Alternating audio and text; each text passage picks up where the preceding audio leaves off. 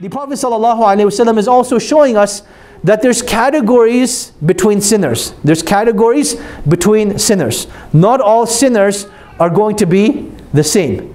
And the best of those that make a sin are those that repent to Allah subhanahu wa ta'ala. A question that always comes forth, what is the difference between tawbah and istighfar? What is the difference between tawbah and istighfar? And as a general principle, they will mean the exact same thing when mentioned in isolation. However, if tawbah and istighfar come together, then they will have two separate meanings. And those two separate meanings are that istighfar is the physical act on the tongue that you will say astaghfirullah, that I seek forgiveness from Allah subhanahu wa ta'ala. And then tawbah will have a distinct meaning that will consist of four conditions. That will consist of four conditions.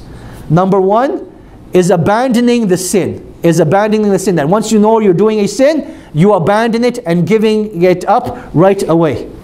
Number two is making the intention never to come back to it. Making the intention never to come back to it. Number three, feeling some sort of remorse, feeling some sort of regret over the action that you did.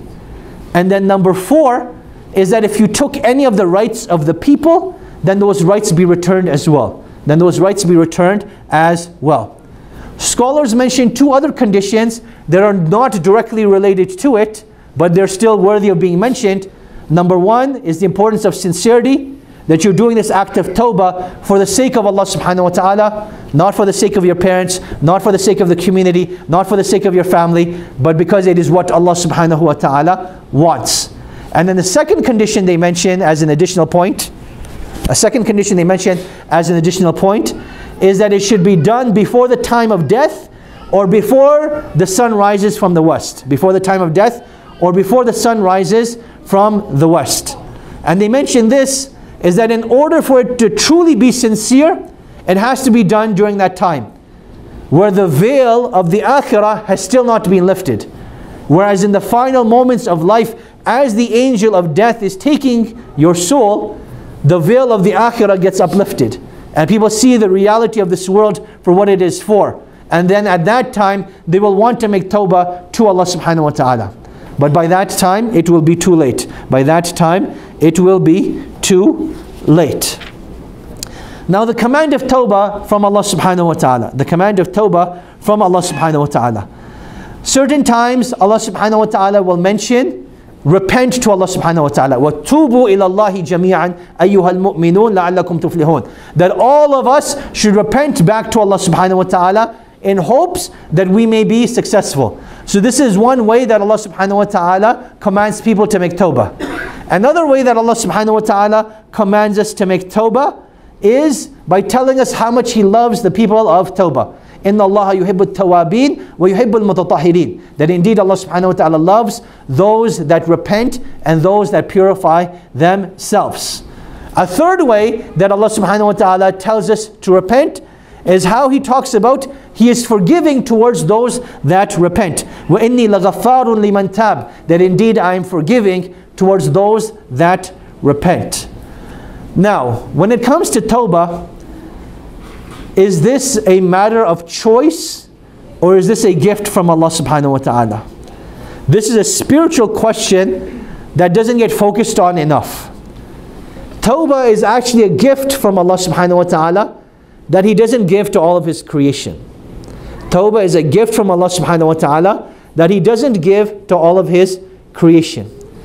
So if Allah subhanahu wa ta'ala chooses someone to make tawbah, that is a sign of love from Allah subhanahu wa ta'ala for that individual. That is a sign of love from Allah subhanahu wa ta'ala for that individual.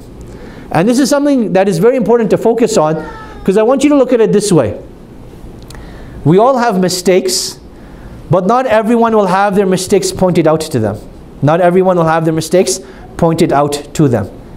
When a person is making tawbah, Allah has pointed out your mistake to you. So He's allowing you to change it with something better so you can improve yourself as well. On top of that, if there was any sin that was incurred, Allah will change your sin into a good deed. and that sin that you have committed will be completely wiped out and forgiven. And then you will become from those that are beloved to Allah subhanahu wa ta'ala, not only for your purity, but also due to the fact that you've done an act that is one of the most beloved acts to Allah subhanahu wa ta'ala. How many times do you find that Allah subhanahu wa ta'ala says in the Quran that He loves people that do so and so? It's not very common. In fact, maybe 10 to 12 categories you'll find in the Quran. That is what you'll find. The people of Tawbah is one of them. So if Allah subhanahu wa ta'ala has guided you to recognize your mistake, then the genuine thing to do is to recognize your mistake and rectify it and to turn back to Allah subhanahu wa ta'ala. Because that is a gift from Allah subhanahu wa ta'ala that should not be rejected. That is a gift from Allah subhanahu wa ta'ala that should not be rejected.